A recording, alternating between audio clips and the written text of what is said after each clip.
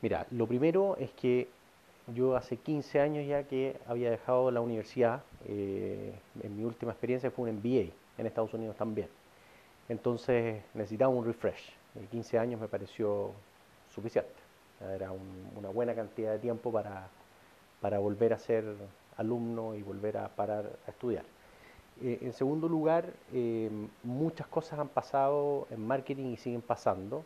Y, quería un update también en, temas técnicamente bien puntuales, como por ejemplo marketing digital, que, fue, que fue una parte de la experiencia importante. Y em, bueno, eh, Kellogg es la cuna del marketing y está Kotler y haber participado en una clase con él directamente fue de un tremendo valor para mí.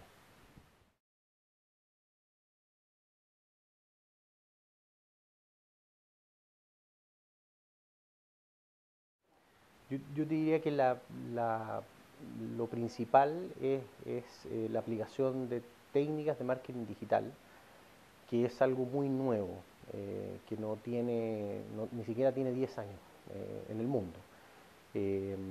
ya cosas que aprendí en el curso las estamos implementando. O sea, fue de, plug and play, muy rápido, de implementación muy rápida.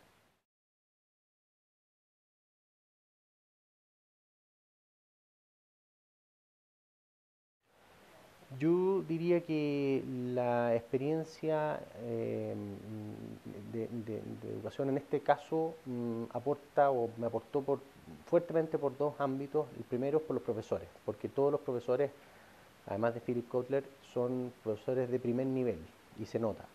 Eh, y lo segundo, que es parte también del, tema educacional, son los compañeros. Eh, en este curso, a diferencia de algunas otras cosas que me había tocado hacer en Chile, el nivel de los alumnos era alto, son todos en general eh, gerentes de primera línea, directores de marketing, directores comerciales, entonces el aporte de experiencia que tienen los alumnos es absolutamente distinto a ir a un seminario eh, dentro de Chile, absolutamente distinto. Eh, y por último, como mencionaba en la pregunta anterior, los conocimientos o, o los tópicos que se tocan son tecnología de punta. Eh, en este caso de marketing. Entonces la universidad, eh, los temas tocados fueron todos desde una perspectiva muy, muy nueva, muy nueva, la, a la que está de la ola.